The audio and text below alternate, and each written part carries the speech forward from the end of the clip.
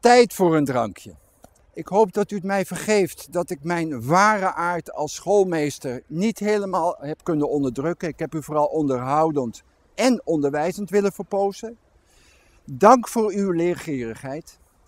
En ik neem aan dat ik u een goed rapportcijfer ga geven. Maar dan komt hier de laatste vraag en ik geef u niet het juiste antwoord natuurlijk.